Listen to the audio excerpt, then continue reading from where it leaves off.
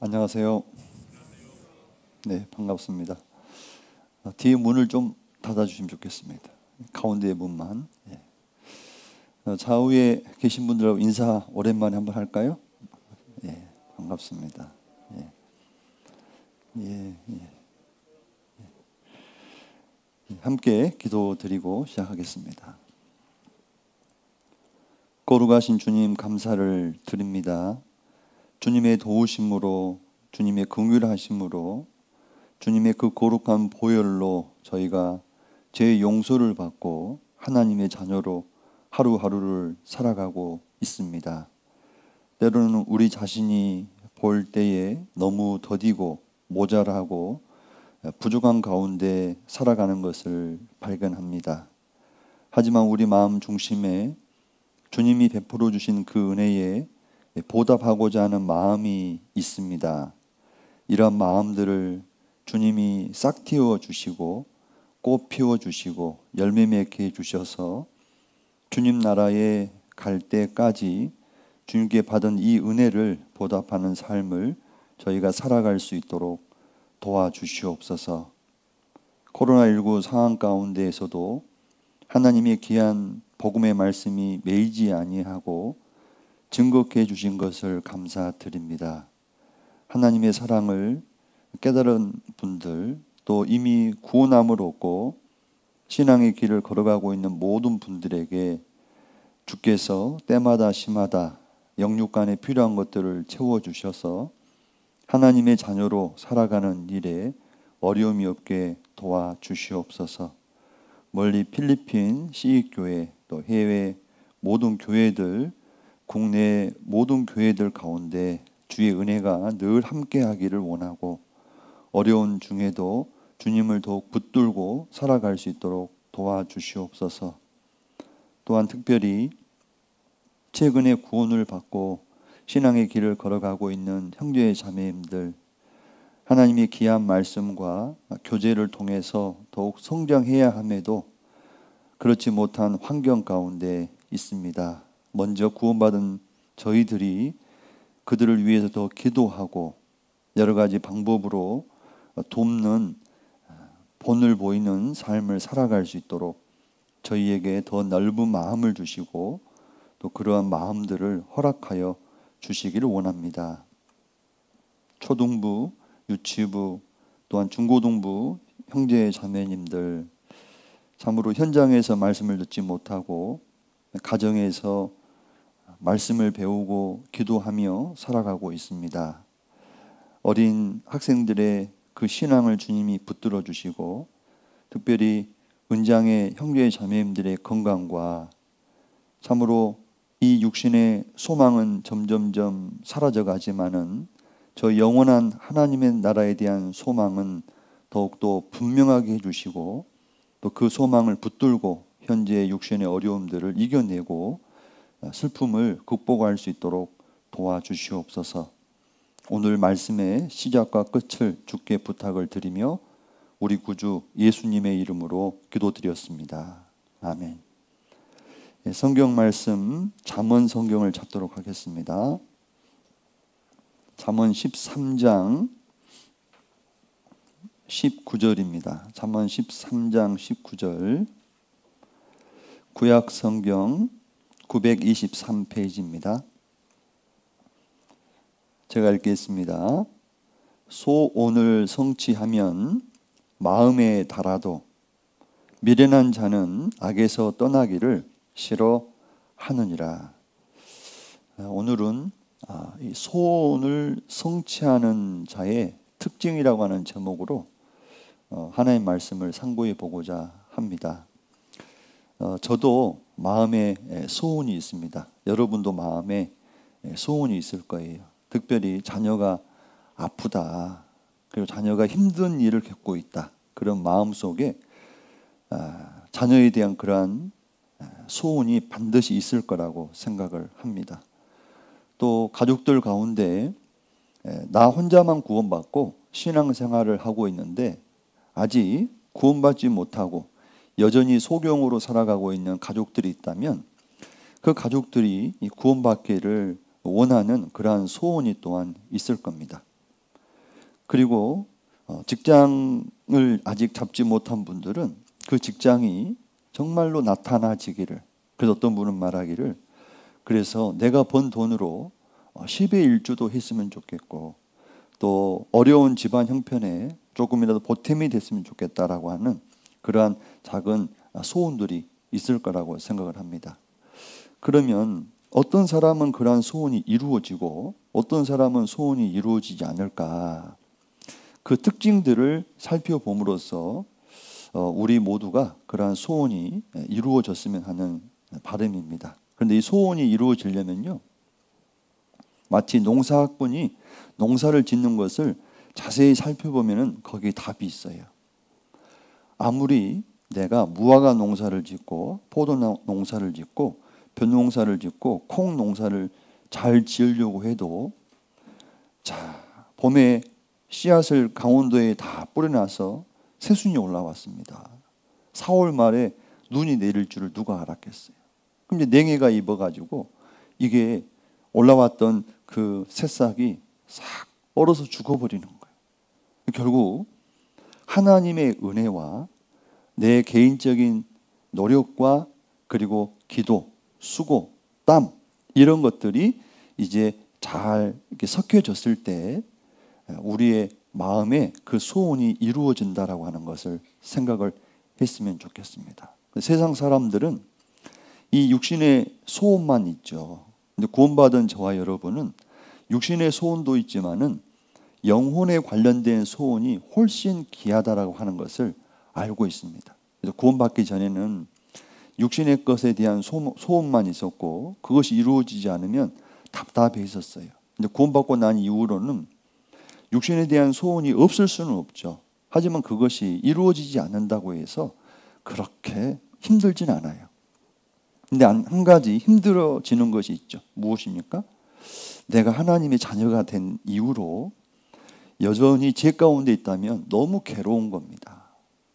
그리고 내가 이제 변화되어져 가서 이제 전도라고 하는 것을 구원받고 처음으로 이제 해보려고 하는데 왜 이렇게 심장은 뛰고 그리고 두렵고 아 이게 담대하지 못한 어떤 그런 것들을 보면서 야 이게 주님 앞에 죄송하다 이런 마음이 올라오기도 합니다. 그리고 이제 전도의 현장에 어떤 사람을 데리고 갔을 때 이 성경 하나 찾아주는 것도 한 말씀 한 말씀이 다 새롭게 들리는 거예요. 그러는 과정 가운데 아, 말씀을 듣는 분이 정말 하나님이 살아계시군요. 내 죄를 어떻게 하면 해결할 수 있을까요? 이렇게 말하는 사람 별로 없어요. 그렇죠? 별로 관심도 없고 예, 아무것도 없고 내일 또 와야 되냐고 아, 이렇게 막 이런 사람들이 있습니다. 그 가운데 이제 또 죄인인 것처럼 빚을 낸 사람처럼 정말 겸손하게 그래도 좀 들어보자고 그렇게 해서 한 영혼이 구원을 받으면 너무 기쁜 거예요. 너무너무 기쁜 거예요. 여러분 그 딸기 농사를 저희 집이 한 10여 년 넘게 지었잖아요. 어떤 분들은 딸기가 나올 때 첫 딸기 나올 때 있잖아요. 제일 비싸요, 제일 싸요? 네. 돈 없는 분들은요. 그 처음 나올 때 딸기를 드셔요. 그리고 그냥 안 먹어도 돼요. 왜 그냐? 첫물이 최고예요. 처음 나오는 것이 가장 좋은 겁니다. 그리고 이제 꽃이 피고 지고 꽃이 피고 지고 이렇게 하는 과정 가운데요. 여섯 번 정도 딸기를 따요. 5월 중순까지. 그래서 처음 것이 가장 좋은 겁니다. 왜 그러냐면은 이제 꽃이 피고 이 성장하는 그 시간들이 이제 겨울이다 보니까 더디잖아요. 그러니까 하나의 딸기가 생겨서 크고 익어가는 과정까지 한 20일 이상 정도 시간이 걸려요. 근데 이제 그 다음부터는요, 시간이 점점 줄어들어요. 뭐 15일 만에, 10일 만에, 뭐 한 8일 만에 이렇게 빨리빨리 크고 지고 막 이렇게 돼요. 그러면은 어떤 게 맛있을 것 같아요? 여러분이 생각해 봐도. 가장 첫물이 맛있을 거라는 생각이 들죠? 네, 그런 것처럼 이 농부가요, 가장 그 처음에 나오는 그 딸기를 딱 보고요. 너무 마음이 좋은 거예요. 저희 어머님이 살아생전에 제가 이제 딸기밭에 이제 그 도와주러 가끔 가면은 어머니가 저보고 그래요. 어머, 야, 종현아 그거 하나 따먹어 봐 그래요. 주먹 절반 정도만 한 거예요. 철없을 때는 먹었어요. 근데 어머니 보면 드시느냐? 못 드셔요. 저, 나중에는 저도 못 먹었어요. 근데 우리 애들은 먹어요. 왜? 그게 어떻게 생긴지를 잘 모르니까 그냥 맛있는 것만 생각하는 겁니다. 그래서 마음의 소원이 이루어졌을 때는요. 너무 마음이 기쁜 거예요. 너무 마음이 막 달아요. 너무너무 좋은 거예요. 그런 소원이 저한테도 2000, 2021년이잖아요, 올해. 막 그 소원의 열매가 막 맺혔으면 좋겠어요. 개항교회 형제 자매님들 마음, 마음에도 그런 소원들이 막 맺혔으면 좋겠어요. 그러면은 개항교회가 불 안 켜도요, 환할 거예요. 왜? 다들 막 웃고 얼굴이 환하고 할 테니까요. 근데 그것이 결코 그냥 되어지는 것은 아니다라고 하는 거죠. 그러면 이제 소원을 성취하는 사람들의 그 특징에 대해서 어, 조금 정리를 해봤는데 그거를 좀 말씀을 드려보도록 하겠습니다.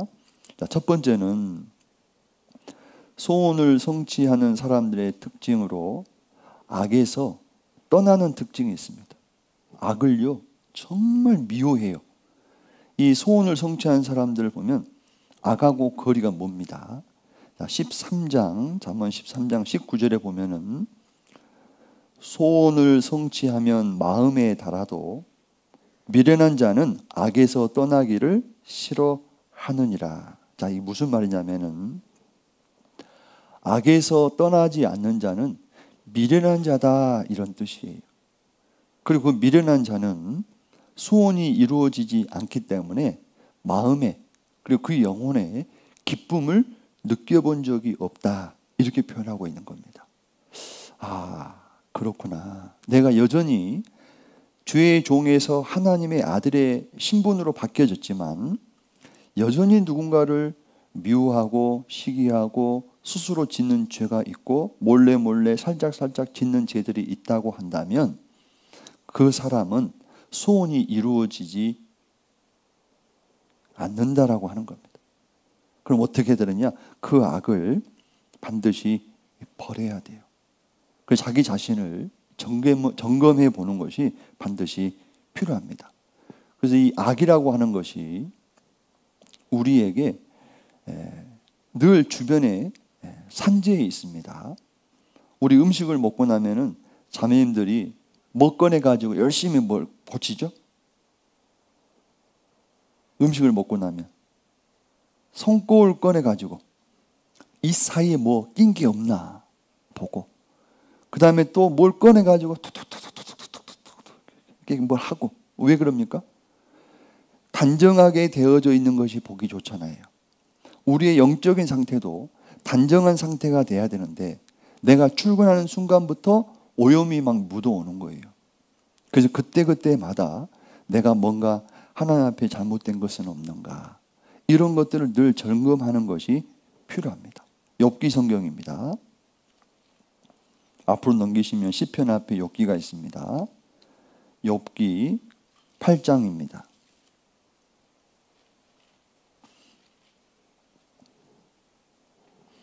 욥기 8장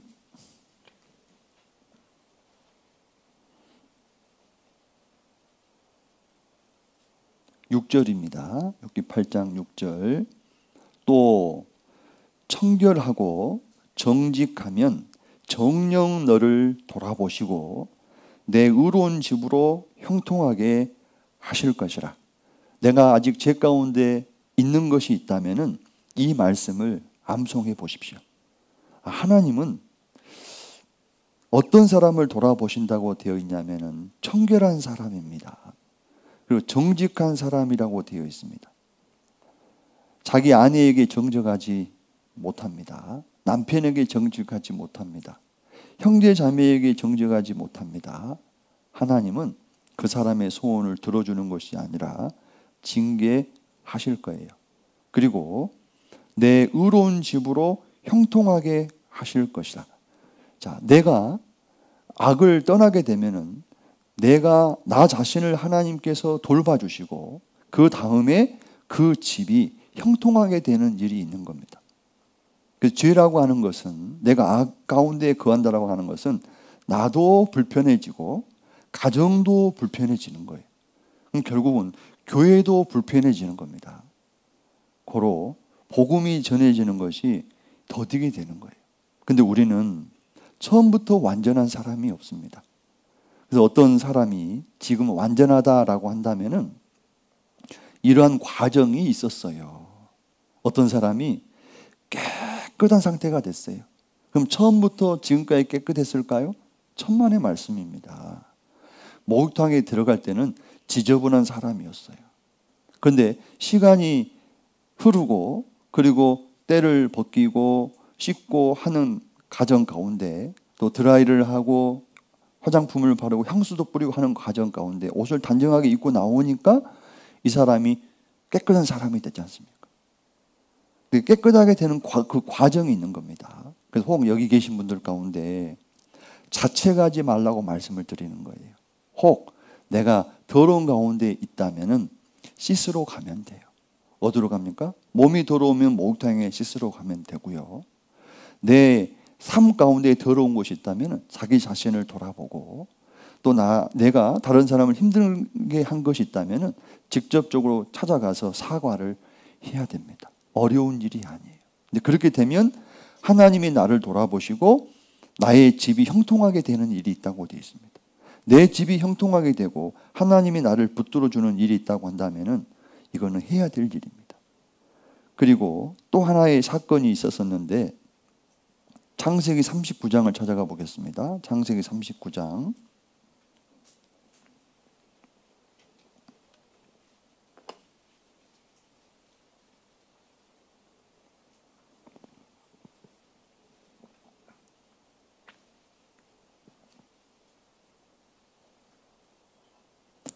창세기 39장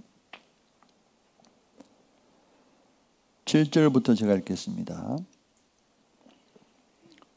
그 후에 그 주인의 처가 요셉에게 눈짓하다가 동침하기를 정하니 요셉이 거절하며 자기 주인의 처에게 이르되 나의 주인이 가중 재반 소유를 간섭지 아니하고 다 내 손에 위임하였으니 이 집에는 나보다 큰 이가 없으며 주인이 아무것도 내게 금하지 아니하였어도 금한 것은 당신뿐이니 당신은 자기 아내임이라. 그런즉 내가 어찌 이 큰 악을 행하여 하나님께 득죄하리까? 자, 저봐 보세요. 요셉의 삶의 주변에는 이 악의 구렁텅이에 빠질 수 있는 것들이 꽤 많았어요. 미워할 수 있는 그러한 여건도 있었습니다. 형들을 미워할 수 있었지 않습니까? 그리고 이 보디발의 아내가 이 유혹하는 이러한 엄청난 일도 있었습니다. 그런데 이 요셉이 동침하는 것을 거부하고 그리고 잘못하면 자기 생명이 위협에 처해질 것을 알고 있었음에도 불구하고 그 악을 멀리 했습니다. 그 보디발의 아내가 저에게도 여러분에게도 있다라고 하는 거예요. 그 보디발의 아내는 한 번만 오고 다음에 안 오는 게 아니에요. 매 순간 매일 찾아옵니다. 내일도 모레도 찾아올 거예요. 그때 우리는 요셉처럼 이 악을 물리쳤으면 좋겠다 싶습니다. 그리고 나중에 이 요셉이 예, 애굽을 애굽에서 또 주변 나라 사람들을 흉년에서 구원해내는 그 놀라운 일을 하게 되지 않습니까? 그리고 그 요셉이 꾼 그 꿈, 그 꿈이 현실로 일어나게 됩니다. 근데 만약에 하나님은 저와 여러분을 요셉처럼 그렇게 크게 쓰고 싶은데 중간에 보디발의 아내라고 하는 그런 덫이 있는데 거기에 발을 딱 내딛는 순간 걸리는 거예요. 그럼 아무것도 할 수가 없는 겁니다. 얼마나 많은 그리스도인들이 그렇게 사라지는지 몰라요. 너무너무 안타까운 일입니다. 보디발의 아내는 매 순간 여러분의 삶 속에 존재하고 있고 그리고 여러분을 넘어뜨리려고 한다는 것을 꼭 기억하시기 바랍니다. 시편입니다. 시편 24편 시편 24편 3절부터 제가 읽겠습니다. 817페이지입니다. 구약성경. 여호와의 산에 오를 자 누구며 그 거룩한 곳에 설 자가 누군고 여호와의 산에 오를 자 누구며 그 거룩한 곳에 설 자가 누군고 하나님 앞에서 선다라고 하는 것은 참 영광스러운 겁니다. 그 영광스럽다라고 하는 것은 뭔가 한 일이 많다는 거예요. 그리고 그 결과로 인해서 하나님께로부터 받는 그 상급이 있다는 것을 설명하고 있는 거죠. 그리고 사절에 보면은 누가 그 산에 오르고 거룩한 곳에 설 수가 있느냐. 물론 아, 죄의 종이 하나님 앞에 설 수 있는 방법은 예수 그리스도의 피로 죄를 영원히 용서받았을 때 가능한 것이고 그리고 그 후에 하나님의 자녀가 어떻게 했을 때 설 수 있느냐? 4절입니다. 곧 손이 깨끗하며 마음이 청결하며 뜻을 허탄한 데 두지 아니하며 거짓 맹세치 아니하는 자로다. 순서가 보면은 손이 깨끗하고 마음이 청결하고 그 다음에 뜻을 허탄한 데 두지 아니하고 거짓 맹세치 아니하는 자라고 되어 있습니다. 이 모든 것이 무엇이냐면은 악과 반대되는 거지 않습니까? 내 삶 가운데 혹 지저분하고 더러운 것들이 있다면은 그러한 것들을 없애달라고 기도하셔야 됩니다. 그리고 이 교회당에 와서 쓰는 언어하고 집에서 쓰는 언어하고 그 언어가 똑같아야 돼요. 그리고 저한테 쓰는 언어하고 여러분 부모님에게 쓰는 언어하고 좀 비슷해야 됩니다. 똑같다고는 제가 말씀을 안 드려도 비슷해야 됩니다. 이게 이제 뭐냐면 거짓스러운 거잖아요. 진실되지 못한 겁니다. 제가 이제 설교를 하고 할 때 너무 거룩한 톤으로 막 하면 여러분 좀 역겨워요, 역겹지 않아요. 유치부 애가 와서 저한테 그럴 수 있어요. 목사님 평상시 하던 대로 해요. 예, 평상시 하던 대로 하는 게 제일 좋습니다. 그런데 집에서는 내 마음대로 말하고 행동하고 이렇게 하면서 형제 자매들 앞에서는 참 뭔가 꾸미는 거예요. 그건 거짓이지 않습니까? 하나님은 그런 사람의 소원을 들어주지 않습니다. 5절도 보겠습니다. 저는 여호와께 복을 받고 구원의 하나님께 의를 얻으리니 하나님께서 의롭다라고 인정해 주신다고 말씀하고 계십니다. 그래서 소원을 성취하는 자의 첫 번째 특징은 악에서 떠나는 특징이 있습니다. 그래서 이 악에서 떠나 보려고 발버둥 쳐야 돼요. 어, 제가 이제 안강에 있었을 때 형제님 한 분이 민물장어를 잡았다고 물이 조금 담겨져 있는 이 큰 비닐에다가 위를 묶어 가지고요 가져왔어. 그래서 형제님이 뭐라고 얘기하냐면은 이 비닐 위를 풀어서 그 통째로 이게 큰 냄비 있잖아요. 거기에 놓고 잽싸게 뚜껑을 닫으래요. 그리고 이제 참기름을 한 병 정도 붓고 그 다음에 이제 푹 고라고 하는 거예요. 근데 이제 얼마 동안은 뚜껑을 계속 붙들고 있어야 된다는 거예요. 행주 같은 거 놓고 팍 붙들고 있어야 된다. 그래서 한 뭐한 5분 정도 있었나? 됐겠지 하고 딱 나왔는데 어떻게 돼요? 푹 나와버렸어. 생각해 보세요. 참기름 묻었죠. 이게 그 징그러운 장어가 제 손목만 이 손목만 하죠. 잡으려고 하는데요. 얼마나 빙질빙질 빠져나간지 몰라요. 이거 끝까지 잡아야 돼, 안 잡아야 돼? 에이, 눈 감고 그냥 없다 치자 하고 그냥 자야 됩니까? 어떻게든 잡잖아요.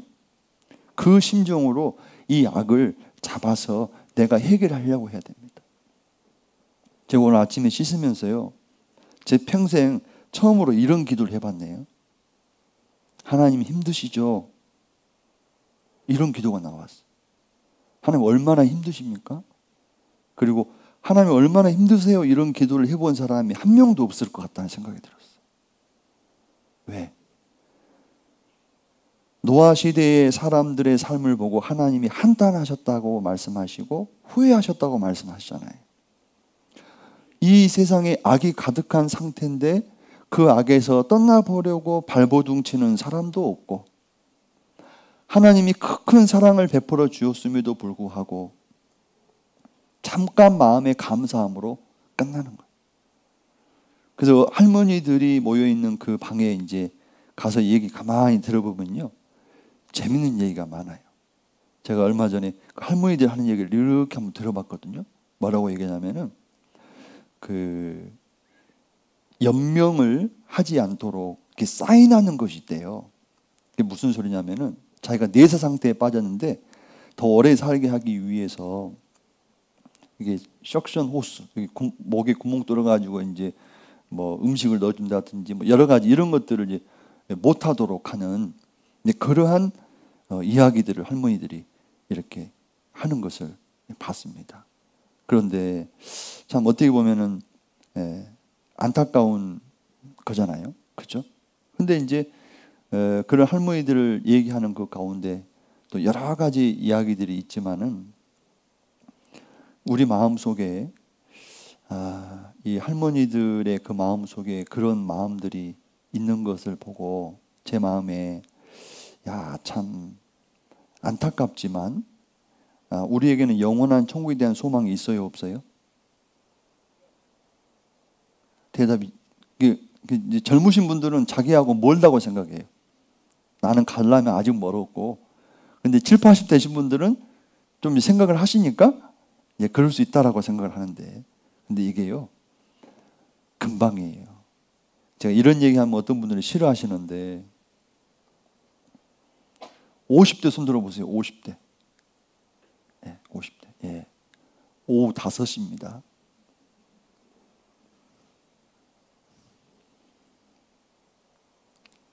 곧 해 떨어져요. 예.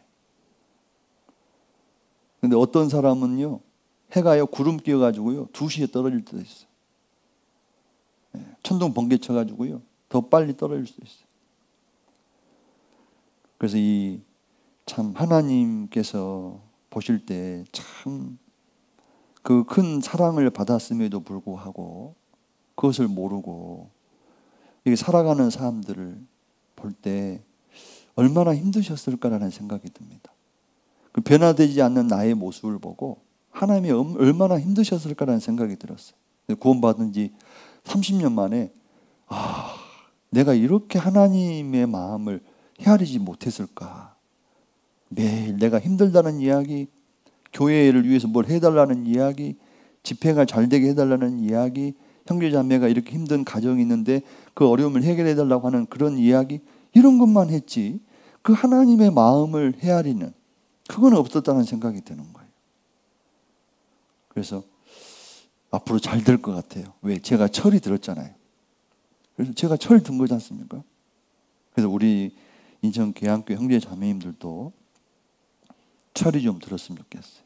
제가 예전에 철이 안 들었다라는 생각이 드신 분들을 위해서 백에다가 뭐 넣어가지고 다니라고 했는데 기억나세요? 쇠못. 네? 쇠못 아시죠? 쇠못. 쇠못을 하나씩 들고 다니면 들고 다니면서 못이 하다 보면 뭐 못이 툭 나올 거 아니에요. 아 철들라고 했는데 정말 철들어야 됩니다. 하나님 아버지의 그 마음을 헤아리면 이 그리스도인은요 정상적으로 살아가게 되어 있습니다. 그리고 두 번째는요. 이게 중요한데 소원을 품고 소원을 품고 그 다음에 품고만 있으면 안 되잖아요. 계획하고 계획하고만 있으면 안 됩니다. 준비하고 그 다음에 중요한 게 뭐냐? 기도해야 합니다. 그러니까 소원을 품고 계획하고 준비하고 기도해야 합니다. 특별히 이제 저 봐보세요. 내가 이제 철이 들었어. 아, 하나님 볼 때도 참 귀해요. 악에서 떠난 사람이에요. 악에서 떠난 사람. 그 사람이 누구였느냐? 노아 시대의 노아였습니다. 노아. 그리고 그 노아에게 하나님이 어떠한 마음의 소원을 주셨습니까? 노아 시대에 살고 있는 사람들을 구원하는 그리고 물에서 건지는 그 큰 사명을 받게 됩니다. 내가 깨끗하고 철이 들었어도 하나님을 향한 영혼을 살리고자 하는 그러한 소원을 품지 않잖아요. 아무 소용이 없어요. 그 무슨 소용이 있겠어요? 새 차를 뽑아가지고 지하 주차장에만 주차해놔요. 어떤 집사님이 차가 두 대예요.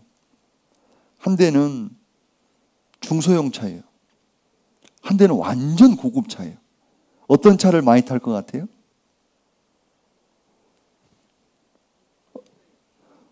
딩동댕 중소형입니다. 희한한 사람이죠? 대형차, 좋은 차는 기름값이 많이 든다고 세워놔요. 그리고 모닝 이런 거 타고 다녀요. 그렇죠? 자, 내가 구원받고 이제 하나님의 자녀답게 반듯하게 살아가고 있어요. 교회 안에서도 봉사하고 살아가요. 그런데 소원이 없어요. 소원이 없어요. 너무너무 안타까운 겁니다. 시편 앞으로 몇 장 넘기시면요. 20편입니다. 시편 20편 4절입니다. 시편 20편 4절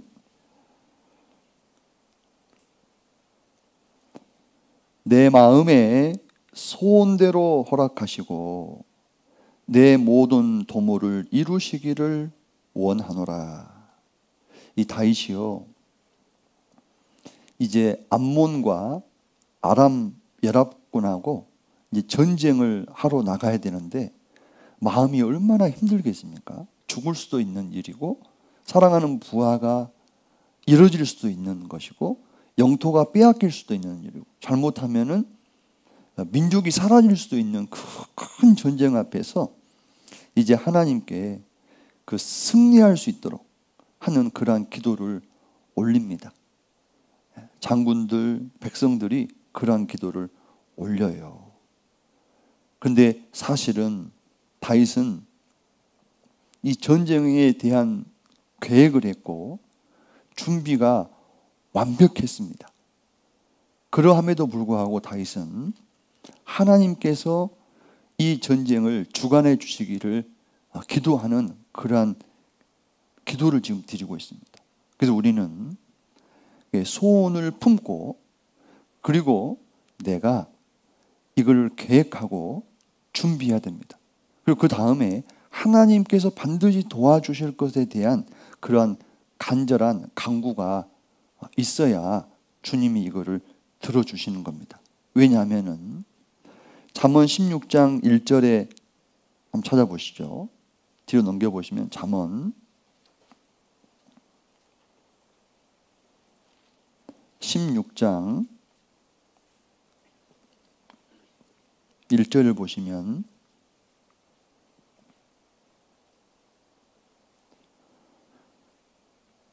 마음의 경영은 사람에게 있어도 다윗이 암몬과 아람 열암과 전쟁을 하려고 할 때에 이런 계획을 누가 세우느냐? 다윗이 세웠습니다.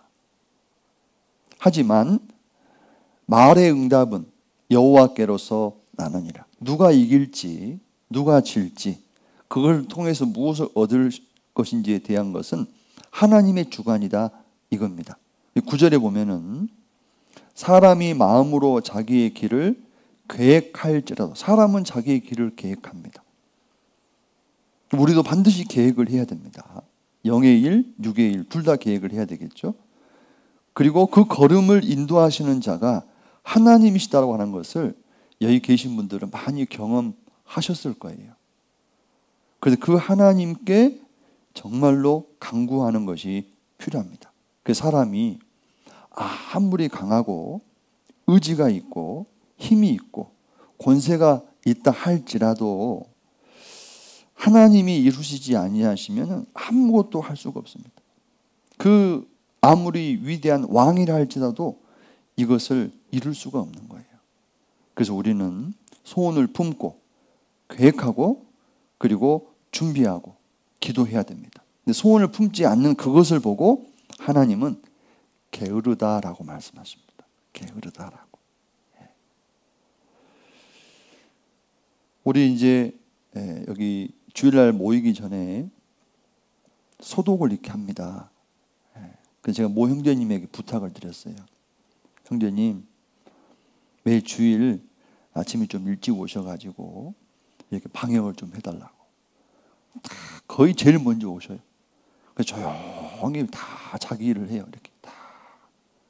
귀한 겁니다. 네. 근데 어떤 분은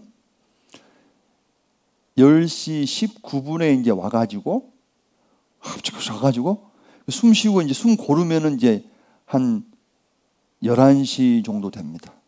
들어보려고 하면 이제 졸려요. 눈 뜨면은 끝나요. 그죠? 어떤 분이 그러더라고요.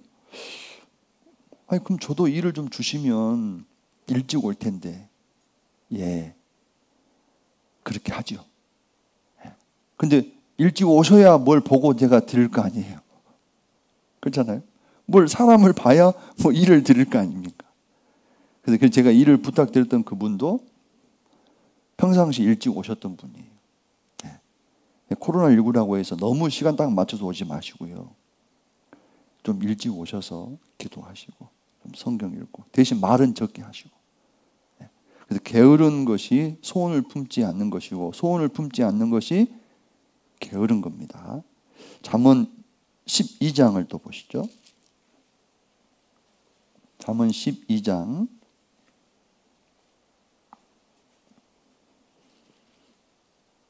27절 게으른 자는 그 뭐 할 것도입니까? 뭐 할 것도요?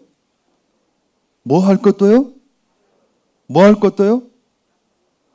이 전도할 사람도 안 한다 이 말이에요. 전도할 수 있는 사람도 안 해요. 제가 어쩔 때는 깜짝깜짝 놀래요. 왜 놀래냐면은 나는 그 형제님한테 그런 형제가 있는 줄도 몰랐어요. 근데 형제가 있는 거예요. 더 놀라운 게 뭔지 아셔요? 인천광역시에 살아. 더 놀라운 게 뭔지 아셔요? 계양구에 살아. 더 놀라운 게 뭔지 알아요? 작전동에 살아. 더 놀라운 게 뭔지 아셔요? 동부 아파트에 산다고 생각해 봅시다. 잡을 것이 있는데 잡지를 않아요. 다시 읽어보겠습니다. 게으른 자는 그 잡을 것도 사냥하지 아니하나니 게으른 자는 그 잡을 것도 사냥하지 아니하나니 소원을 품고 이루고 잡아야 될 것이 있음에도 불구하고 안 잡는 겁니다. 육신적으로 부자가 되는 것에 대해서 얘기하고 있죠. 사람의 부귀는 부지런한 것이니라. 이거는 진리입니다. 믿지 않는 사람들 가운데 몇 억의 돈을 갚기 위해서 직업이 여섯 개인가 되는 걸 봤어요. 직업이. 마지막에 자는 건 어디서 자냐면요. 목욕탕에서 자요. 네. 그 하루 일과 마지막 일이 뭐냐면은 이 목욕탕 청소하는 일이에요. 그렇게 하고 거기서 씻고 나왔어. 그몇 시간 자 아침부터 저녁까지 계속 부전하게 움직입니다. 그리고 나중에는 그 빚을 다 갚고 이 부자가 되는 걸 봐요. 세상적으로 그렇습니다. 근데 영적으로도 동일하다고 봐요. 잡을 것도 사냥하지 아니하나니. 혹시 나는 내가 잡아야 될 것이 있는데 이 소원을 품어야 될 것이 있는데 품지 않고 있지 않는지 생각해 봐야 돼요. 그 대한민국의 역사를 보면 침략을 받은 역사가 뭐 몇백 회라고 얘기하잖아요. 가끔 보면은 그 순하고 착하다라는 생각도 들지만 왜 우리나라는 일본을 갖고자 하는 그런 욕심, 중국을 소유하고자 하는 그런 욕심, 그런 욕심은 우리 한 번도 없었을까? 라는 생각이 들어요.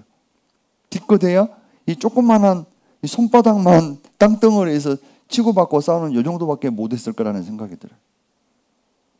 어떤 관점에 봤을 때는 일본이 영국이 미국이라고 하는 나라 이런 나라들이 예, 좀 기분 나쁜 나라들이지만 그들이 왜 그렇게 식민지를 놓고 갖게 됐고 그런 많은 부귀 영화를 누리게 됐을까?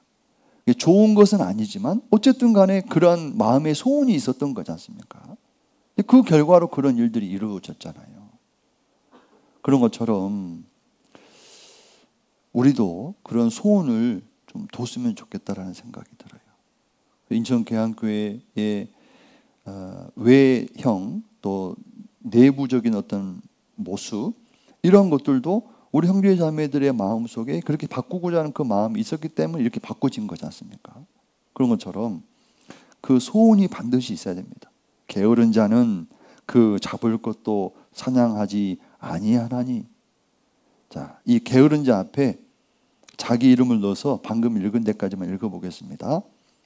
윤종현이는 그 잡을 것도 사냥하지 아니하나니. 좀 어때요? 찔림이 있어요, 없어요? 자, 저 봐보세요. 저 봐보세요. 저 보라고 할 때는만 뭐 불쌍한 표정 하지 마시고 이제 밥 먹을 때는 야 삼겹살 더 없니? 아이고 그래서 말씀 들을 때라도 그렇게 하니 다행이죠. 말씀 들을 때까지도 왜요 왜 이렇게 하면 더 힘들잖아요. 윤종현이는 그 잡을 것도 사냥하지 아니하나니 제가 챙겨야 될 일이 많고 돌봐야 될 일이 많고 근데 그걸 하지 않음으로써 이루어지는 사람이 있고 세워지지 않는 사람이 있다면은 하나님께서 제 마음의 소원을 들어주시겠느냐? 아닙니다. 그래서 이 잡을 것이 있습니다. 이 소원을 반드시 품고 계획하고 준비하고 기도해야 됩니다. 다윗이 암몬, 아람 연합군과 전쟁할 수 있는 모든 그런 소원을 갖고 준비하고 계획하고 마지막에 하나님께 기도했던 결과로 승리했던 것처럼 우리도 이러한 것들이 절대적으로 필요하겠습니다. 그리고 세 번째는 이제 소원을 갖는데요. 지식 위에 소원을 가져야 됩니다. 예, 지식이 있어야 돼, 지식. 그럼 이 지식이라고 하는 게 예, 뭘까? 19장입니다. 예, 잠언 19장.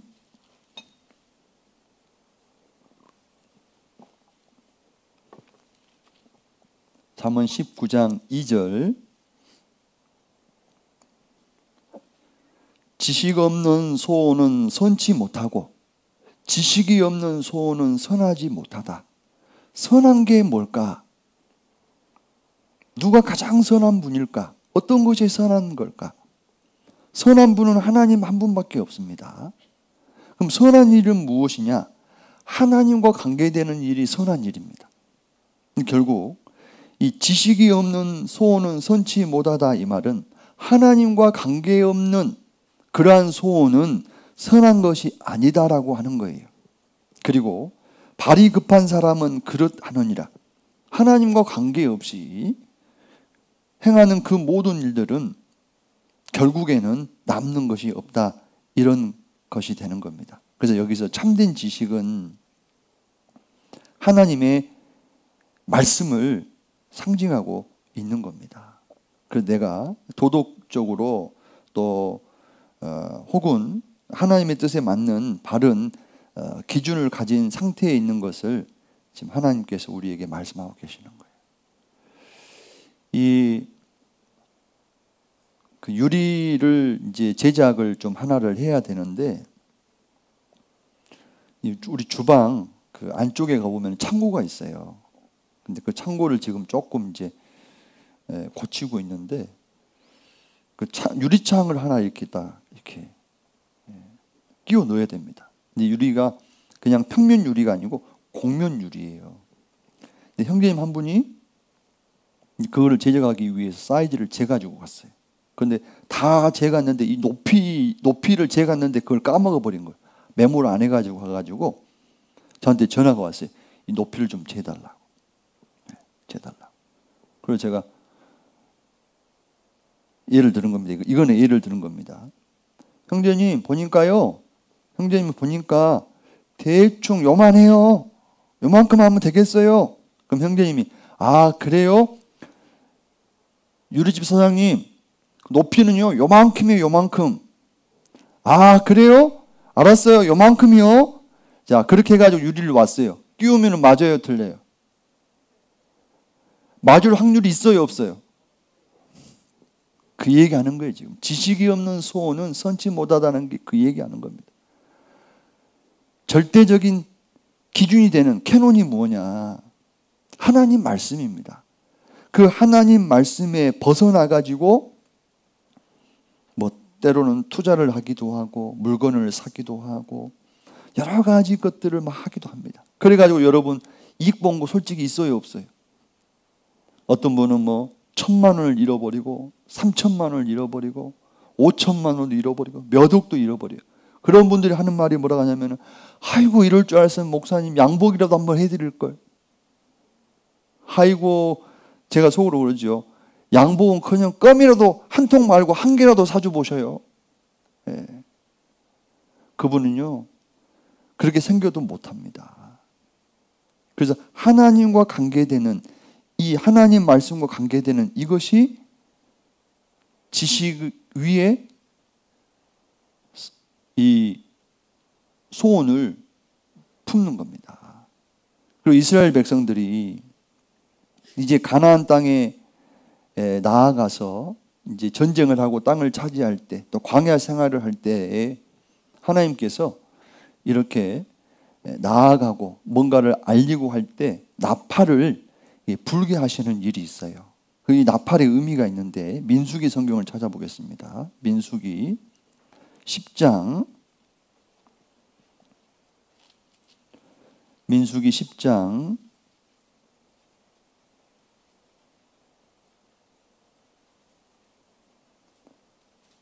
구약 성경 212페이지입니다. 민수기 10장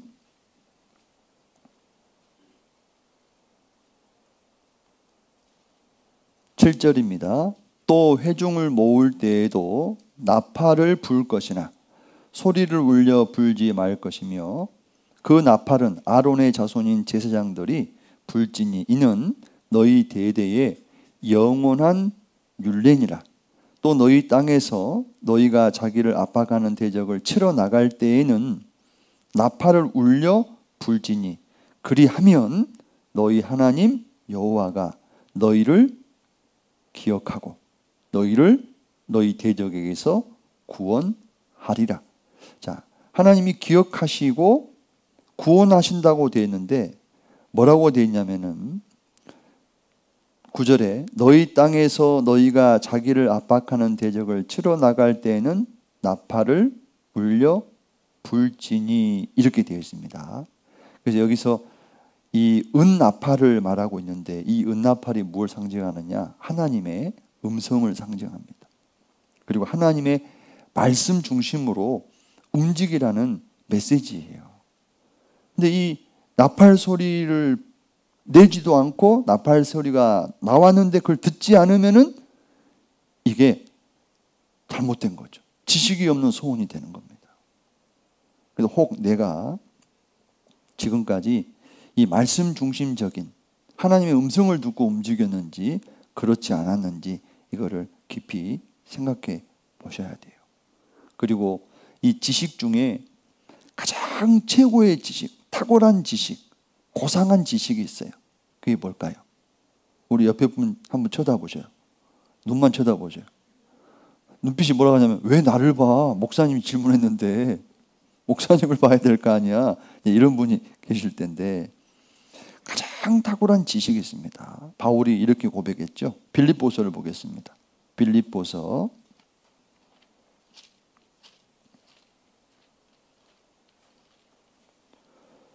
빌립보서 3장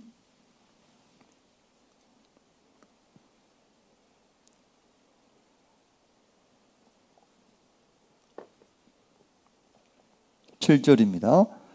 그러나 무엇이든지 내게 유익하던 것을 내가 그리스도를 위하여 다 해로 여길 뿐더러 또한 모든 것을 해로 여김은 내 주 그리스도 예수를 아는 지식이 가장 고상함을 인함이라. 내 주 그리스도 예수를 아는 지식이 가장 고상함을 인함이라.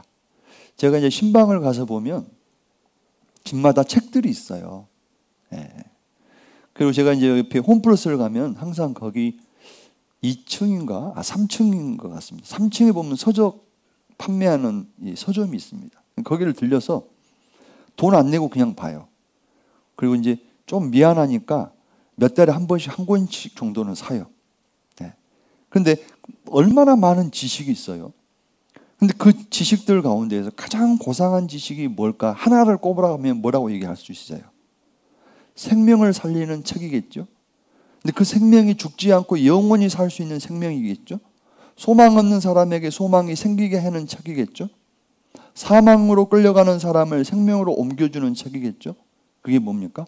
바이블이죠. 그 바이블 속에서도 예수 그리스도에 대한 그 지식, 그것이 가장 고상하고 탁월한 그러한 지식이다. 이것과 연결 지어진 그러한 소원이 가장 가치 있고 남겨지는 것입니다. 그걸 통해서 영생이 전해지는 일이 있지 않습니까? 그래서 우리는 이제 4월 12일부터 저희가 어, 대전도 집회를 계획하고 있습니다. 코로나19 상황 때문에 다 모이지는 못하지만 그래서 한 구역에 최소한 현재 계획은 뭐한 다섯 분 정도 이렇게 오신다고 한다면은 어느 정도 어, 이렇게 좀 수가 차고 해서 집회가 진행이 될 거라고 생각을 해요. 그래서 이런 상황 가운데 있지만 하나님 저를 사용해 주시면 안 되겠습니까?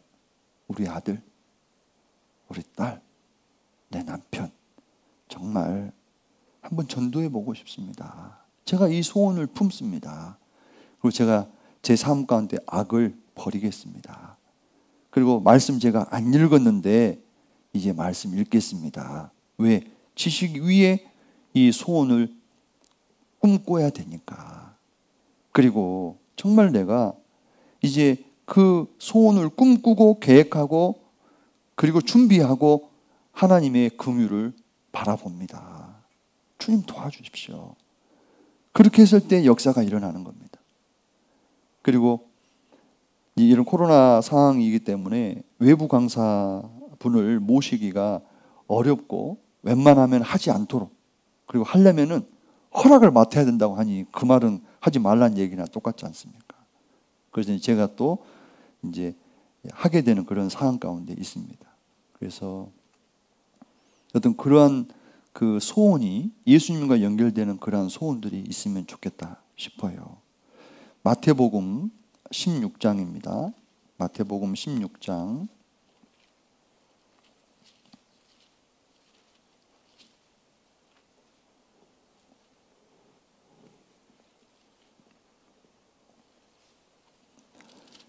26절입니다. 마태복음 16장 26절.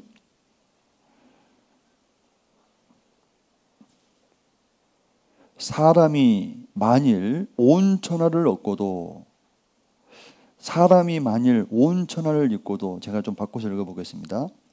진시 황제가 만일 온 천하를 얻고도 진 나라라고 하는 지금 현재의 차이나의 가장 서쪽에 진나라가 있었습니다. 그 진나라가 여섯 개의 나라를 통일을 시켰잖아요. 와, 이 중국의 그 땅덩어리하고 미국의 땅덩어리하고 비슷합니다. 어마어마한 그러한 제국의 이 황제가 됐어요. 진나라의 최초의 황제다. 진시 황제가 된 겁니다. 그리고 천대 만대까지 자기의 자손들이 계속 이 예, 중국을 통치할 것이라고 생각을 했는데 그가 죽고 난 뒤 3년 만에 이 진 나라가 사라지게 됐습니다. 그리고 그는 이 영생이라고 하는 것을 얻기를 원했지만은 결국 그는 50세 혹은 51세라고 얘기하는데 그 젊은 나이에 세상을 떠나게 됩니다. 지금 그 얘기를 하고 있는 거예요. 사람이 만일 온 천하를 얻었는데 제 목숨을 잃으면 무슨 소용이 있겠느냐. 근데 온문에 보면 이 목숨이라고 하는 것은 뭐냐면은 이 육체 생명을 말하는 것뿐만 아니라 그 사람의 영혼을 말합니다. 그 영혼이 천국에 가지 못한다면 그것이 무엇이 유익하겠느냐라고 하는 거예요. 사람이 무엇을 주고 제 목숨을 바꾸겠느냐 이렇게 말씀하고 계십니다. 우리가 전도 집회를 해서 단 한 사람의 영혼이 구원을 받았다. 그 단 한 사람의 영혼이라도 하나님 앞에 나오는 계기가 됐다라고 한다면은 그거는 가치 있는 일입니다. 그래서 1년이 52주인데 그 52주 가운데 가장 가치 있는 주간이 뭘까? 인천 계양교에서 또 내 인생 가운데에서 내가 전도하는 주간입니다. 내가 전도 집회에 참석하는 주간이 아니겠는가 싶습니다. 그 주간만큼은 조금 더 말씀 앞에 나오고 조금 더 하나님 앞에 기도하고 조금 더 죄하고 멀어지는 그러한 시간들이지 않습니까? 그래서 그런 것들을 작년에 너무 하지 못해서 아쉬웠고요. 그리고 우리는 이 고상한 이 지식을 반드시 전해야 됩니다. 그래서 이 말씀 가운데서도 창조에 대한 관련된 말씀, 영혼에 관련된 말씀, 죽음 이후에 관련된 말씀, 역사에 관련된 말씀, 세계 제국 열강에 대해 관련된 말씀이 있고 죄에 대한 말씀, 심판에 대한 말씀이 있고 그 다음에 이 생명을 얻는 말씀이 따로 있지 않습니까? 이 말씀을 전하는 이 일에 우리가 조금 더 신경을 써야 됩니다. 사도행전 11장입니다. 사도행전 11장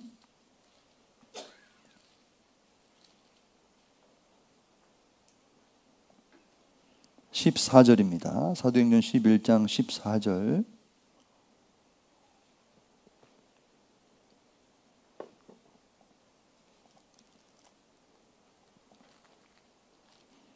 제가 읽겠습니다. 그가 너와 내 온 집에 구원 얻을 말씀을 내게 이르리라 함을 보았다 하거늘. 자, 여기 보면은 무슨 말씀이라고 되어 있습니까? 구원 얻을 말씀입니다. 다른 말로 표현하면은 천국에 갈 수 있는 말씀. 죄가 용서되는 말씀입니다. 하나님께서 이 고넬료의 그 믿음을 보시고 구원 안 받은 상태였지만은 참 귀한 사람이었잖아요. 그래서 하나님께서 이 구원해 주기 위해서 베드로를 보냈잖아요. 근데 저 봐보세요. 근데 베드로가 하나님이 베드로 보고 가라고 했는데 베드로가 이러는 거예요. 제가 왜 가야 되는데요? 그 이방인이잖아요. 이방인. 이탈리아 사람이잖아요. 내가 왜 가야 됩니까? 이 핑계 대고 안 갔으면 어떻게 될까요? 둘 중 하나입니다. 고넬료가 생명을 얻지 못했든지 다른 사람을 통해서 구원을 받았든지 결국 베드로는 손을 본 거죠. 하나님 앞에서의 쓰임도 못 받고 상급을 받을 수 있는 기회도 없고 그리고 이 성경의 기록도 되지 않았겠죠. 어차피 한 번 살다가 가는 인생입니다. 먹고 마시고 시집가고 장가가는 일만 하다가 가면 짐승은 잘했다고 할 거예요. 왜요? 그게 목적이니까. 근데 인생은 그게 목적이 아니지 않습니까? 그거는 기본인 것이고 가장 중요한 게 있잖아요. 예. 그래서 그 기본만 기본으로만 만족하고 나오면 안 됩니다. 그 예전에 전라도 광주에 가면은 충장로가 번화가였잖아요. 거기에 돈가스 전문점이 있었어요. 유생촌이라고. 저 형이 저를 데리고 딱 처음에 갔는데 소문만 들었어 소문만. 제가 고등학교 때 갔으니까. 돈가스라고 하는 것이 엄청 맛있다는 소문만 들었어요. 근데 거기는 이렇게 좀 창이 거의 다 막혀 있고 빛이 은은해요. 근데 뭐 이렇게 내왔는데 빈 접시를 놓고 가는 거예요. 빈 접시를. 아니, 난 돈가스 먹으러 왔는데 왜 빈 접시만 놓고 가냐 이거. 그리고 화가 나가지고 이렇게 있는데 형이 먹으라는 거예요. 아, 뭘 먹어요? 아무것도 없는데 자세히 봤더니 스, 스프가 있는 거예요. 네. 아, 스프. 형은 딱 저도 이게, 이게 다야? 기다려보라고. 기다려봐. 진짜 돈가스가 나오는 거예요. 우리 인생도 마찬가지예요. 진짜 돈가스가 있다니까요. 수프만 먹고 가면 안 되잖아요. 근데 어떤 사람은 스프만 계속 먹고 그냥 가버려요. 진짜 돈가스는 나왔는데 값은 다 치르고 나갔어. 가면서 뭐라고 그래요? 에이 돈가스 먹으러 갔더니 뭐 먹은 죽만 한, 한 접시 그것도 몇 숟갈 되지도 않네. 한두번 먹으니까 뭐 없던데 뭐. 그렇게 하는 거예요. 그러면 인생이 헛되다고 얘기하는 겁니다. 창조주를 발견하지 못하면 그렇게 끝나는 거예요.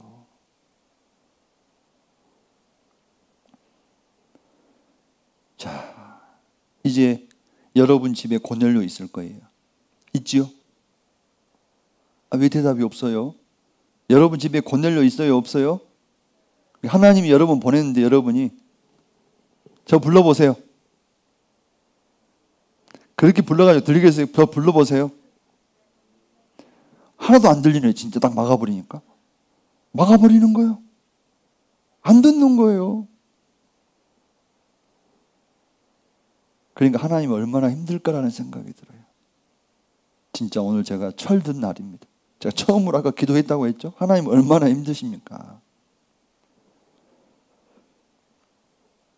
잠깐 그런 생각을 할 때, 아유, 참, 그, 한편 마음이 좀 울컥하더라고요. 아, 참, 정신 차려야 되겠다라는 생각이 들어요. 그리고 이제 네 번째는요, 내가 어떤 계획을 가지고 어떤 일을 해도 여호와의 능력으로 꿈이 성취된다는 것을 잊지 않는 겸손함이 있어야 됩니다. 하나님의 능력으로 이 일이 반드시 이루어진다는 것을 아, 기억을 해야 됩니다. 그래서 시편 찾아보시죠. 시편 10절에 보면요.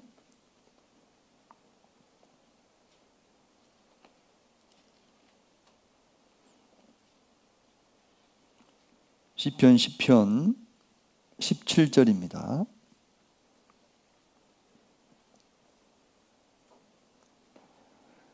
여호와여 주는 겸손한 자의 소원을 들으셨으니 저희 마음에 예비하시고 귀를 기울여 들으시고 여호와여 주는 어떤 사람의 소원을 들으십니까? 겸손한 자의 소원을 들으시는 겁니다. 여러분 거울 앞에 있으면 무슨 생각이 드세요? 잡아 보세요. 무슨 생각이 들어요? 아직은 쓸만하다 이런 생각이 드세요? 어떤 생각이 드세요? 통장에 이게 잔고 보시면 아이고 좀 쓸, 쓸만 쓸만큼은 돈이 있구나 이런 생각이 드세요? 여러분 살고 있는 아파트가 뭐 1억 5천에 샀는데 이게 2억이 됐어요. 2억이 됐는데 2억 5천 3억이 됐어요. 그때 좋으셔요? 성경이 예, 고린도전서 7장에는 이렇게 말씀하고 계셔요. 남편이 지금 있다고 해서 너무 좋아하지 마라. 또 남편이 없다고 너무 슬퍼하지 마라. 지금 일이 잘 된다고 너무 좋아하지 마라. 지금 일이 안 되고 너무 답답하다고 너무 힘들어하지 마라. 이 세상의 형적은 다 지나가는 것이니라. 그리고 모든 강물이 흘러서 바다로 흘러가듯이 모든 인생은 하나님 앞에 서게 돼 있다. 그 하나님은 내가 얼마만큼 많이 배웠고 얼마만큼 부자고 이런 걸 중요하게 여기지 않아요. 그 마음이 그리고 하나님과 연결되어져 있는 그런 마음의 소원이 얼마만큼 있었는지 이것을 하나님이 보시는 겁니다. 그리고 이 겸손이라고 하는 것은 자신의 나약함을 아는 자죠. 하루살이에게도 눌려 죽을 나고 내일 내가 내 생명이 어떻게 될지 모르는 존재라는 것을 기억하는 겁니다. 그리고 가장 중요한 것은 솔직히 우리 흙으로 만들어진 거 맞아요, 틀려요? 맞잖아요. 그래서 하나님 말씀하기를 너는 흙이니 주제 파악하라고 말씀하잖아요. 너가 뭘 가지고 있고 뭘 능력 있고 아무리 그렇다 할지라도 하나님 말씀하십니다. 너는 흙이니 흙으로 돌아갈 것이니라. 너는 흙에 불과하다. 고로 너를 만드신 하나님만을 의뢰하고 그분만을 경외하고 섬기는 것이 너의 본분이다라고 말씀을 하고 계시는 거예요. 하나님은 겸손한 자의 소원을 들어주신다는 것, 이걸 꼭 기억하셨으면 좋겠고요. 그리고 그렇게 살아가다 보면 하나님께서 반드시 높여줄 때가 있어요. 반드시 높여줄 때가 있습니다. 그러니까 힘들고 어려운 일이 있어도요. 저 봐보세요. 하늘 무너져요, 안 무너져요?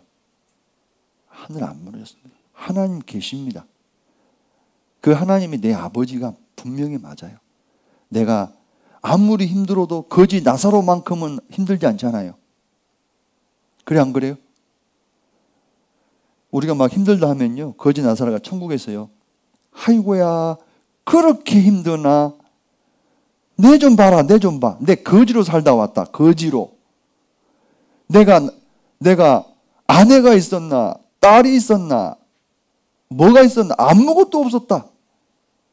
그러나 지금 천국에서 지금 살고 있다. 너무 그렇게 죽는 소리 하지 마라. 하지만 우리는 부지런히 살아야 돼요. 왜 그런 줄 아셔요? 우리가 진짜 거지 되면요. 내가 전도할 대상이 거지밖에 없어요.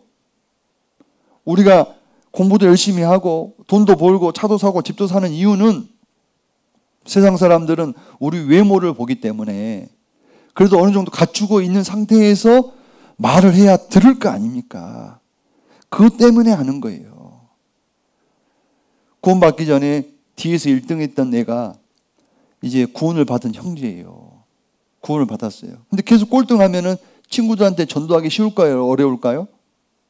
어렵습니다. 근데 그 얘가 이제 계속 치고 올라가서 점수가 올라가서 막 반에서 1등도 하고 전교에서 막 순위 안에 막 들어요. 그럼 가만히 있어도 있잖아요. 사람이 붙어요.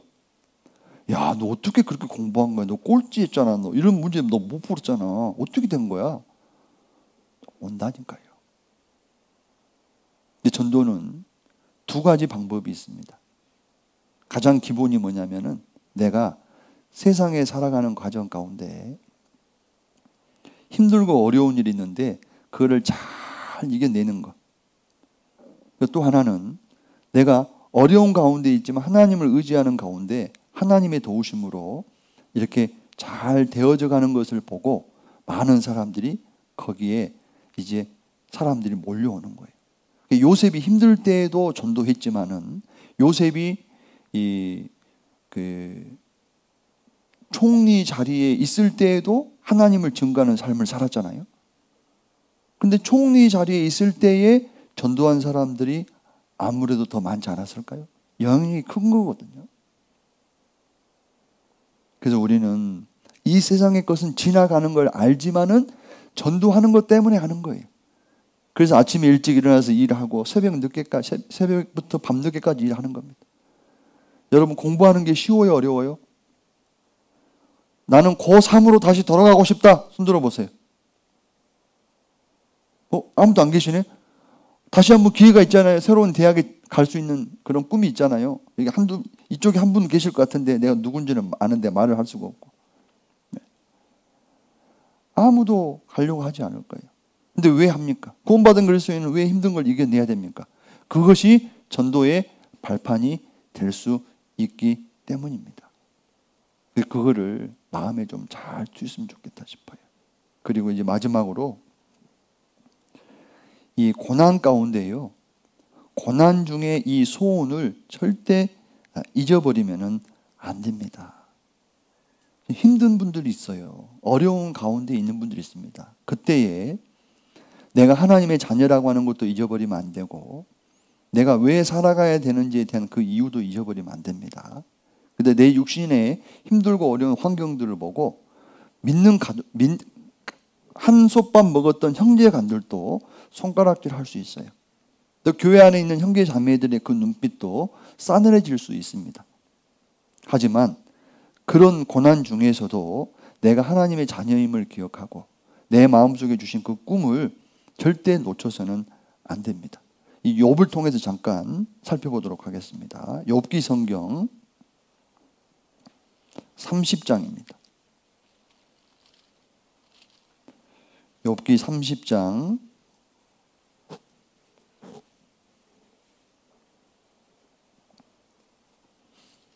26절입니다. 26절 제가 읽겠습니다. 내가 복을 바랐더니 뭐가 왔습니까? 화가 왔고 광명을 기다렸더니 뭐가 왔습니까? 흑암이 왔다고 되어 있어요. 이 욥은 자기가 하나님 앞에 복 받기를 원했어요. 그리고 어두움이 아니라 빛이 광명이 있기를 원했던 겁니다. 자, 그럼 욥이 이런 상황 가운데 있었을 때 이 신앙의 회의에 빠지지 않았겠습니까? 그리고 이 신앙생활 하고 싶은 마음이 사라질 수도 있을 겁니다. 아마도 욥뿐만 아니라 대다수의 사람들이 정말 하나님이 계시는 건가? 하나님은 정말 신뢰할 수 있는 분인가? 왜 나에게만 이렇게 힘든 일들이 일어나는 것이지? 이런 불편한 마음을 토로할 수 있었을 거예요. 근데 우리와 욥의 삶은 질적으로 다릅니다. 그럼 욥이 그냥 평범하게 살면서 이런 복을 바랬느냐, 광명을 바랬느냐? 아닙니다. 욥이요. 정말 반듯하게 살았어요. 이 31장을 제가 읽어 보겠습니다. 31장 중요한 부분만 좀 몇 군데 읽어 보겠습니다. 1절에 보면은 내가 내 눈과 언약을 세웠나니 어찌 처녀에게 주목하랴 그리하면 위에 계신 하나님의 내리시는 분깃이 무엇이겠으며 높은 곳에서 전능자에 주시는 산업이 무엇이겠느냐 욥은요 자기 아내 외에는 다른 이에게 눈을 주목한 적이 없다라고 얘기를 하고 있는 겁니다. 5절에 언제 나의 행위가 허탄하였으며 헛된 일, 거짓된 말 이런 거를 얘기하는 겁니다. 내 발이 계율에 빨랐던가 남을 속이고 하는 그런 일들이 있었느냐라고 하는 겁니다. 그리하였다면 내가 공평과 저울에 달려서 하나님이 나의 정직함을 아시게 되기를 원하노라. 또 9절에 보면은 야, 9절을 넘어가고요. 16절 제가 보겠습니다.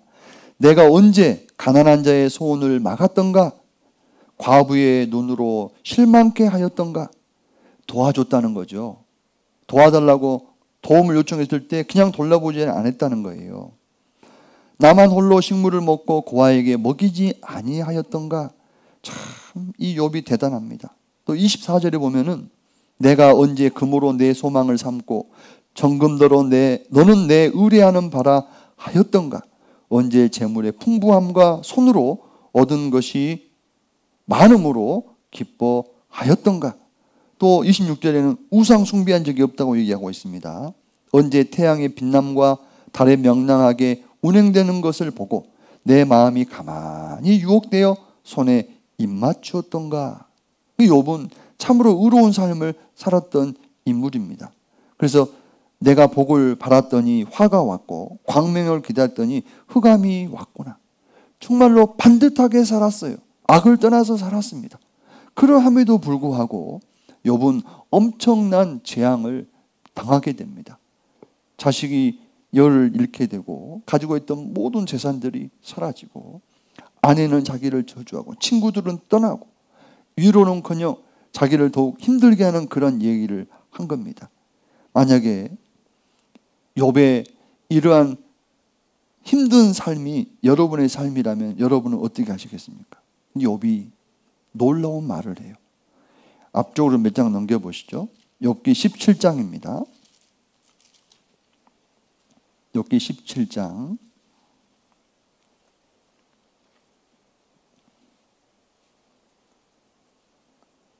9절입니다. 그러므로 의인은 그 길을 독실히 행하고 손이 깨끗한 자는 점점 힘을 얻느니라. 욥은 아무리 힘들고 어려운 일이 있어도 의인은 가던 길을 꿋꿋이 간다. 꿋꿋이 가는 거예요. 묵묵히 가는 겁니다. 누가요? 욥 자신을 얘기하는 겁니다. 욥은 그 길을 꿋꿋이 가고 그 손이 깨끗한 사람은 손이 깨끗한 사람 차츰 힘이 솟아난다고 고백하고 있습니다. 욥은 사실은 범죄함으로 이런 징계가 있는 것이 아니라 하나님께서 시험하신 후에 더 좋은 곳을 주시기 위해서 그 과정 가운데 욥이 있었던 거지 않습니까? 근데 이때에 하나님을 더욱더 신뢰하고 의지하느냐, 멈추거나 뒤로 서거나 하나님을 배반하느냐, 이런 여러 가지 선택의 기로에 있었습니다. 그때 욥은 하나님을 생각함으로 이 모든 것들을 참아낸 겁니다. 그 어려운 가운데 있다 할지라도요. 이거를 주님을 바라보고 묵묵히 잘 이겨내야 됩니다. 그러면 결국에는 여러분 마음에 그 소원이 반드시 성취되게 되는 일이 있게 될 겁니다. 베드로 전서입니다. 베드로 전서 2장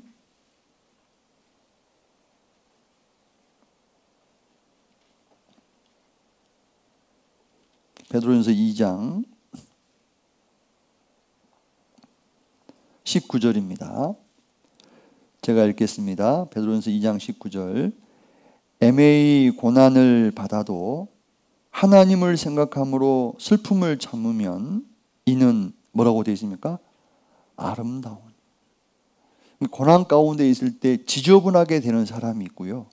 고난 가운데 있을 때 아름답게 되는 사람이 있습니다. 그래서 형제 자매님들 가운데 뭔가 정말 잘, 누가 봐도 잘못을 했어요.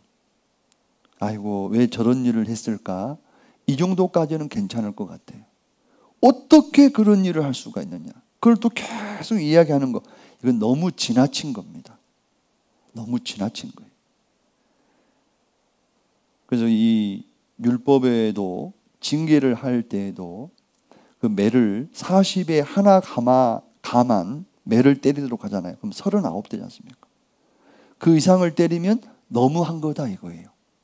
너무한 거다 이겁니다.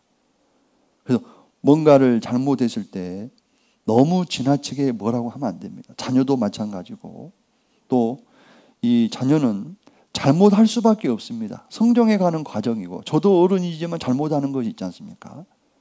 그래서 계속해서 그것을 통해서 교훈을 얻도록 일러주는 것이 어른의 입장에 있기 때문에 그러한 삶이 우리의 삶이 되어져야 된다고 생각을 합니다. 그래서 오늘 소원을 성취하는 사람의 특징에 대해서 어, 제가 여덟 가지를 준비했는데 다섯 가지 정도만 말씀을 드렸어요. 첫 번째 악에서 떠나는 특징이 있습니다. 두 번째는 소원을 품고 계획하고 준비하고 기도해야 합니다. 세 번째는 지식 위에 소원을 가져야 됩니다. 네 번째는 여호와의 능력으로 꿈이 성취된다는 것을 잊지 않는 겸손함이 있어야 됩니다.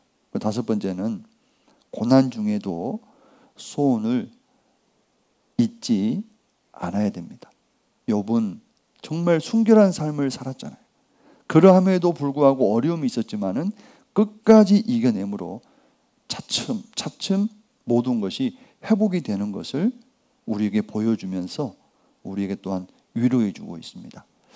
자, 말씀은 여기까지 마치고요. 그리고 이제 4월 12일부터 이제 어, 대전도 집회를 계획하고 있는데 꼭 기도해 보셔요.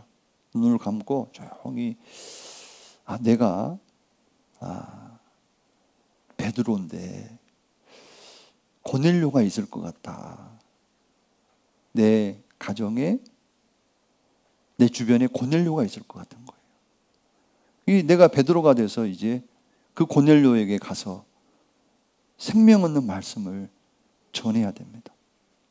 그 역할을 우리가 했으면 좋겠고 그러한 소원을 마음에 품었으면 좋겠습니다. 이번 한 주간도 승리하는 그러한 시간이 되었으면 좋겠습니다. 기도드리겠습니다. 고마우신 주님 감사를 드립니다. 우리의 마음에 소원을 품게 해주시고 또는 악에서 떠나게 해주셔서 하나님의 도우심으로 우리의 마음의 소원이 성취되어지기를 원합니다. 육신의 소원도 또 영혼의 소원도 주님의 선하신 뜻 가운데 이루어 주시기를 원합니다. 또한 고난 가운데에도 주께서 우리에게 주신 그 소원을 마음에 품고 욥처럼 묵묵히 어려움들을 이겨낼 수 있도록 도와주시고 또한 주님이 차츰 차츰 회복시켜 주시는 것을 우리가 경험하게 해주시고 위로받고 또다시 힘을 내어서 더 큰 소원을 꿈꾸게 해 주시옵소서. 4월 12일부터 계획되어져 있는 집회를 위해서 기도합니다. 준비된 영혼들을 보내주시고 구원받을 만한 분들을 보내주시고 또 이 일에 형제 자매님들을 귀하게 사용해 주시옵소서. 특별히 최근에 구원을 받고 신앙의 길을 걸어가는 형제 자매님들 주님이 더욱더 붙들어 주시고 또 먼저 거듭난 구역의 임원 형제 자매님들의 마음을 감화 감동시켜 주셔서 그들을 붙들어 주고 세워 주는 일을 할 수 있도록 도와주시옵소서. 전 세계에 있는 모든 교회들 주님이 또한 붙들어 주시기를 원하오며 저희를 사랑하시는 우리 구주 예수님의 이름으로 기도드렸습니다. 아멘. 네, 수고하셨습니다.